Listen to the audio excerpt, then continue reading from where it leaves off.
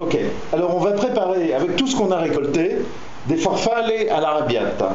Donc, l'asphodèle, on va en faire, on va le broyer. hein. On va le broyer avec un petit peu d'ail. Donc on prend, parce que c'est nettement plus facile au lieu de d'éplucher l'ail, hein, les gousses d'ail, c'est beaucoup plus facile de, de, couper les, fleurs. Voilà. Donc, on coupe les fleurs. Ça, c'est notre ail. C'est c'est beau comme tout en plus. Voilà. Donc, on va mettre du sel, de l'huile d'olive. Un peu de sel. Pas trop. Et de l'huile d'olive. Voilà. Et ça, ça va nous servir de base de pesto. Ok? C'est bon. Alors, on prend, donc ça c'est le chénopode, voilà qu'on a ramassé. On va en mettre quelques feuilles. Ça c'est donc la base du pesto. Hein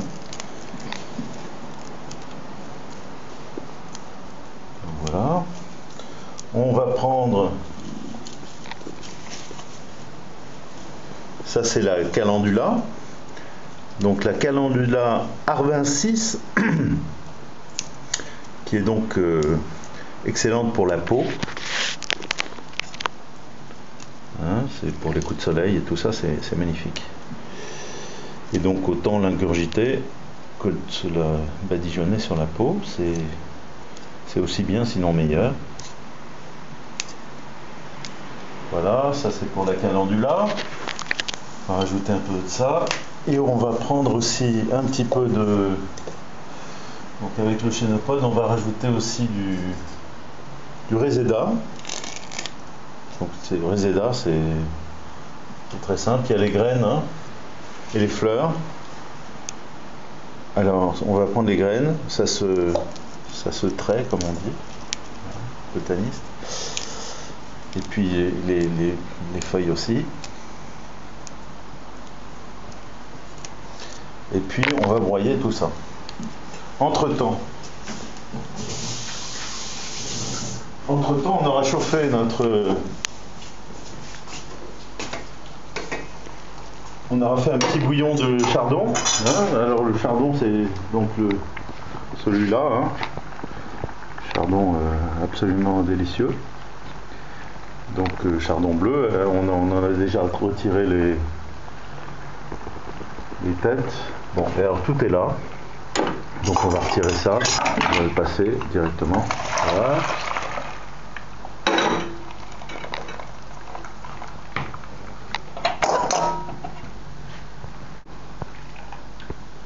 On va le saler un peu.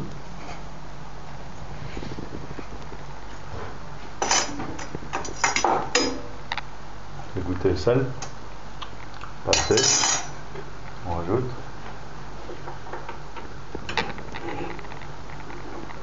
On va attendre que ça boue un peu. Et on va y rajouter nos farfales.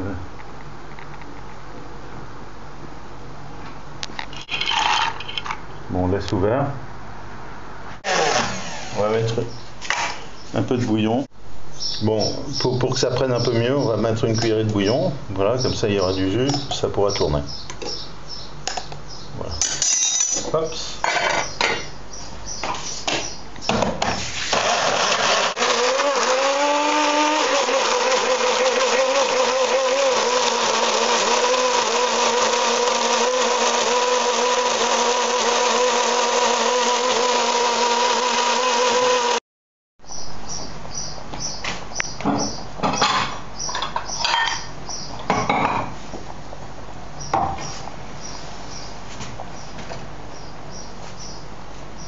Alors, donc ça c'est la base de notre pesto.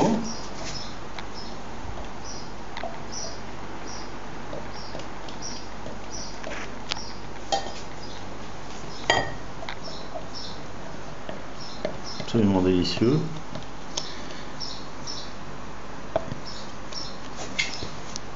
Hmm.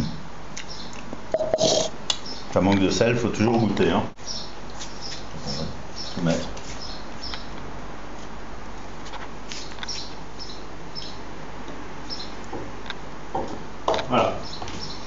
Alors, on prend notre roquette. Donc ça, c'est Eruca sativa. Les roquettes sont des crucifères, donc la famille des crucifères, des plantes. Ils ont les fleurs en croix. Et pour reconnaître la vraie roquette, c'est en croix donc blanche avec une petite ligne violette au milieu. Alors ça, c'est Eruca sativa. C'est la vraie roquette qui est cultivée aujourd'hui, mais euh, que nous avons trouvée sauvage. Voilà, parce qu'elle existe sauvage encore. Donc ça c'est merveilleux. Donc,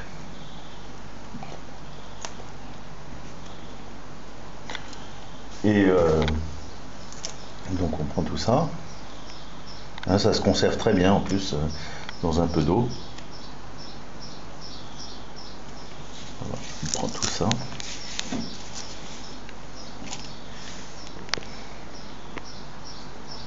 Alors ça on trouve un peu partout euh, en Méditerranée et partout ailleurs il y a d'autres roquettes parce que la roquette, il y a plein de formes de roquettes. Il y a la Eruca, et puis il y a les diplotaxis. Diplotaxis qui est un peu plus courant. Ça, on la trouve surtout euh, dans le sud de la France, en Italie. Sinon, elle est cultivée partout ailleurs. Mais à l'état naturel, c'est plutôt dans les pays latins qu'on la trouve. Alors que l'autre, la diplotaxis, on la trouve à, peu près partout dans toute l'Europe. C'est une plante qui indique des, des sols compactés. Donc c'est des endroits où il y a beaucoup de passages. Voilà. on va broyer les, les plantes. Hein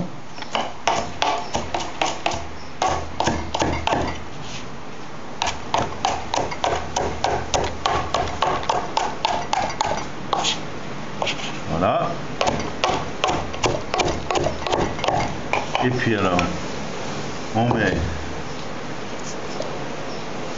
une partie, parce qu'on va garder une autre partie pour la décoration. Parce que on avait cette plante tout à l'heure qu'on on, en a mis un petit peu, qui s'appelle le, le hein, donc euh, ça, ça, un goût très très moutardé. Donc ça, c'est la même chose. Euh, et on va s'en servir comme euh, un petit peu un trait de moutarde à côté. Donc je vais garder un peu de jus pour mélanger un peu de, base de pesto pour mélanger ça. Donc on mélange notre vraie roquette. Alors, on prend le mortier. Voilà, et on, et on broie. On peut rajouter un peu plus d'huile d'olive, toujours agréable. Voilà.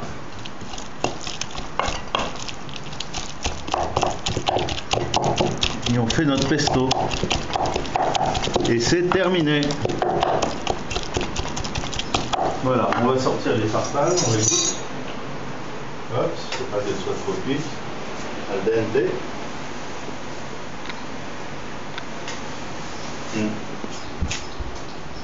Un peu encore. Voyons, voyons.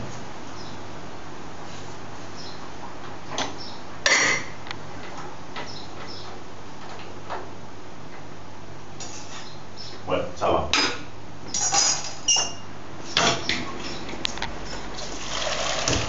Voilà. Alors, ça sent vraiment le chardon. On a une bonne odeur sucrée. Avec une légère, un, léger arôme d'artichaut derrière, parce que le chardon a le même goût que les artichauts. Et ce qui est intéressant, c'est que quand on le fait en, bouillon comme ça, il n'est pas du tout amer. Voilà. Et hop, et on mélange. Hein, il n'y a rien de plus simple.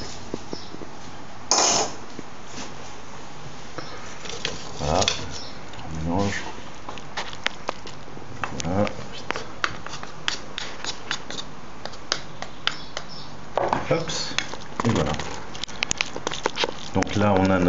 Avec notre base de pesto. C'est absolument, il y a des odeurs hmm, d'herbes fraîches, légèrement amères, sucrées qui restent. Il y a quelques, herbes de roquette entières qui, restent pour bien montrer qu'on est avec la bonne roquette. Et alors, donc, maintenant on peut dresser ça sur une assiette. En hein, c'est pas. Voilà. C'est sympa.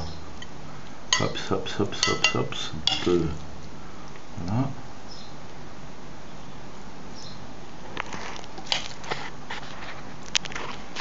Voilà, alors ce qui est sympa, c'est que on a donc le blé qui a été récolté, et puis toutes les herbes qui sont les mauvaises herbes. Donc avec le blé, on fait les pastas, et, les mauvaises herbes, bah, ça donne du goût à la pasta. Alors là, à côté, donc c'est ma petite sauce qui va, qui va un petit peu souligner et renforcer, la, donner la force arabiata, on a dit, hein, donc euh, en colère. Donc ça, ça a le goût de moutarde. Je prends avec un petit peu d'herbe dedans. J'en prends une deuxième pour que ça soit vraiment flagrant, qu'on le voit vraiment. D'autres herbes. Je vais mélanger ça légèrement, hein, pas trop. Voilà. Donc, je vais saler un peu. Hop, encore. Un petit peu d'huile toujours la bonne huile d'olive de Lisa qui est encore verte. Protégez toujours de la lumière parce que sinon elle devient jaune. Hein, n'achetez pas des huiles d'olive jaunes s'il vous plaît. Et hop, donc on va mettre ça comme ça. Voilà. Donc d'un côté on a la roquette et de l'autre côté on a le réséda est toujours fait avec une petite euh, fleur de chardon. Et alors, puisqu'on a utilisé du chardon dans le bouillon, on va utiliser les fleurs parce qu'elles ont un goût très sucré. Donc on les dégage bien et on les coupe. Voilà.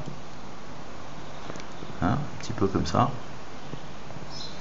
Et puis, puisqu'on a utilisé de la roquette, on va utiliser des fleurs de roquette. Donc, on va en mettre un petit peu partout.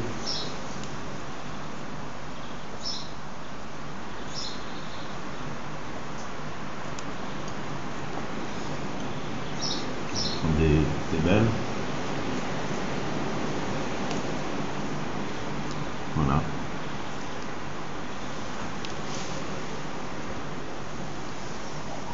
Et voilà. Et puis, puisqu'on a du réséda à côté, on va mettre une fleur de réséda. Alors voilà, farfalle et la rabiata aux herbes sauvages. Donc, pesto de, roquette, vraie roquette sauvage, authentique roquette, cuit dans un bouillon de chardon, avec les fleurs de chardon, et une sauce plus forte au réséda, donc euh, avec euh, donc cette, des graines de résetta qui ont un goût moutardé très fort. Alors là, ça montre bien que on a fait les pastas, c'est fait avec du blé, le blé a été récolté, et on est allé dans le champ récolter toutes les mauvaises herbes. Alors euh, voilà, s'il vous plaît, ne, ne mettez pas de, d'herbicides, laissez les mauvaises herbes pousser parce que c'est au point de vue gastronomique, c'est quand même, quand même plus intéressant.